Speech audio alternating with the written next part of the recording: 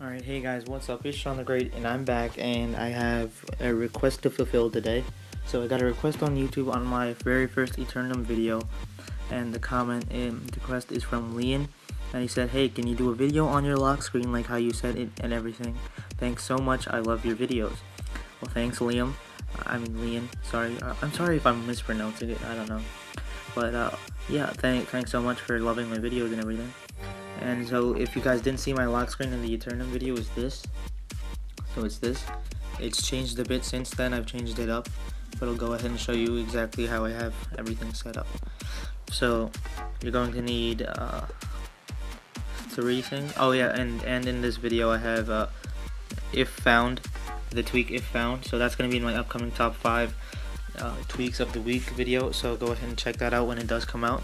So you're going to need to add one repo for this, and it's going to be the repo is going to be repo.winneonsword.net. So I'll go ahead and add that, and I'll show you. I already have it though. I'll just type it in for anyone that didn't see it. Repo.winneonsword.net. It's also going to be in the description if you want to copy paste it and everything. So that is the repo. So go ahead, like take a good look at it, and now I'll go ahead and cancel. And uh, that's it. That's all. That's the only thing you're going to need. You're going to need Groovy Lock, the Groovy Lock, and you may need the Groovy API, I don't know. I forget what the Groovy API. Yeah, you're going to need Groovy API. So if you go to install Groovy Lock, it automatically installs Groovy API, so you're going to be fine with, for that. And uh, yeah, you're also going to need Lockglyph. I'll show you that. That the, these both are Groovy Lock and Lockglyph both are free, so you should have no trouble with that. So Lockglyph. There you go that's Lockglyph, and this is in the default Big Boss repo. So it's uh, it's just the unlock animation that I have going. So yeah. So I'll go ahead and show you guys their settings panes, and then I'll show you my actual lock screen now and uh, before. So this is the Lockglyph setting pane. You have you can enable it. There's an unlock sound. There's a use. You can use the tick animation, or you can just ignore the animation altogether. There's the shine animation, like in the slide to unlock animation and you can have faster animations. So with faster animations, I'll go ahead and show you guys right now. So with faster animations, this is what it looks like. It's pretty fast, unlocks your phone nice. And with slow animations, this is what it looks like. So it's actually really pretty slow. I'm used to the fast animations, so I keep that on. So uh, you can uh, change the uh, idle color, so when it's waiting for your fingerprint, and the scanning color when it's actually scanning your fingerprint. So I set both of mine to actually match my lock screen. You can set it to vibrate and shake the fingerprint if it receives a wrong fingerprint. Alright. That's uh, that's Lockglyph, and the other one is Groovy Lock that you're going to need. So Groovy Lock was right here actually. So uh, it's simple. You can you're gonna have to hide the lock screen clock, and you're going to need the cataracs dot theme, and you have to have it enabled, and you don't have to respring for changes so that's actually pretty good. So cataracs.theme is in the WinneonSword.net repo. So if you go ahead and search up cataracs, there you go. And it is for iPad too, and it's supported on iOS 8, which is actually awesome. So cataracs, default cataracs is, is what looks like that. You can have a blur on it like I do. And uh, yeah. And it slides up for notifications and everything, so it's actually very nice. So if I send myself a text message, so let's go into my text messages. Hopefully I don't have anything embarrassing up. So yeah, I do. Of course I do. So go ahead, say hi. Send lock. There, let's go. I'm gonna open it up and I'll try and make sure to see so you guys can see the animation. There you go. It just slides up. You're all smooth like, and then you can reply or you can slide to reply or you can go like that. And that's pretty simple. So yeah, that's pretty much it. So uh, cataracs. So to optimize cataracs and to position it, you're going to have to need iFile or uh, Filza. So either one works actually, but I prefer iFile to edit things and Filza to put in things to folders. I don't know why, it, it's just different for me.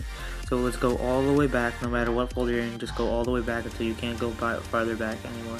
Scroll down until you see var, tap on var, scroll down until you see mobile, click on mobile, then go down into, I think it's library, yep, library, and you go until you see Groovy Lock.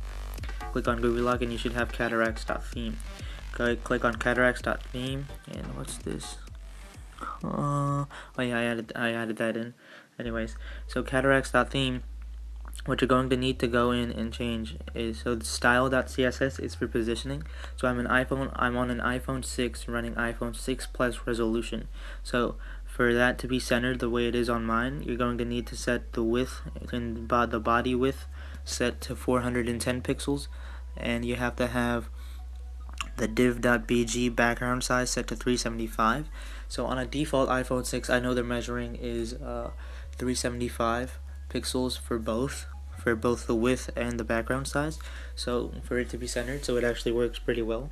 And for uh, iPhone 6 Plus just take 1080 which that's the resolution. So 1080 and divide it by 2 and put those measurements in there. So you can play around with the measurements to put it on uh, put it anywhere you want.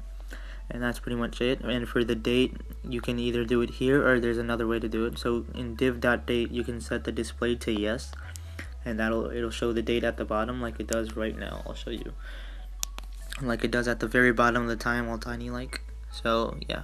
But you can do that in style.css while you're there or you can go into options.javascript or js so you can have 24 hour time set and if you have oh yeah I forgot to mention when you whenever you make any changes in .css or .js you're going to have to respring you're going to have to save done respring and then it applies the changes. So yeah. So uh, allows the widget to move up when notifications are present. So that's notification support. So you can set these to true or false as you wish. You can set the spacing between the widget and the top of your screen. Uh, default is 160 so I have show background color behind the widget. Default is transparent. So you can set transparent or you can set it to a specific color you want so uh, for color information, go to colorpicker.com and you can and then you type in the hex code for that color in parentheses. And that's pretty much it. You can change the background color opacity, so how uh, how dark you want the color to be in the back. And uh, the blur radius I have set to 5 or 20, 25 is the default. But uh, yeah, that's it. And I think that it showed shadow under the widgets. That's what I have. The default is false. I changed mine to true uh, background blur. Default is false. The option is buggy. You to have on and make time to create the blur every so often. So if you if you've noticed when I unlock my when I uh, come up with my phone, it doesn't show up and then it shows up with the blur. So that's pretty much it. So I have background enabled, I have blur enabled, and I have my blur set to five, and I have the background shadow enabled. So that's pretty much exactly what I have before. Like before I didn't play around in options.js, I just showed up with the date and I repositioned my clock and that's it. And I programmed my uh, I programmed Lockglyph to have uh, faster animations and stuff like that, along with the shimmer effect and the nice uh, the nice fast unlock animations and the colors to match my background. So you can go ahead play with your settings a bit and uh, just play around with them. You should be able to figure these out. If you do have any problems, go ahead and contact me. You can either email me or you can uh, go ahead and uh, comment on my on this video down below. I'll check the videos every hour or so, so if I don't respond soon, just uh, just wait a bit and uh, you can check back. But the fastest way for me to reply to you is in my Gmail. So if you do Gmail me, then go ahead and uh, and I'll be able to respond to you instantly if I do have Wi-Fi or my data on. So that's pretty much it. Thank you guys so much for watching and uh, tune in next time so next video is going up tomorrow and that's Friday for my top 5 tweaks of the week. So check those out. They're all amazing tweaks. I've already recorded it. I have a couple of tweaks to go and then I'll edit it and put it together and uh, with some nice music in the background along with music in the background of this. And that's it. Thank you guys so much for watching. Tune in next time and I'll go ahead and uh, shut up now. See ya.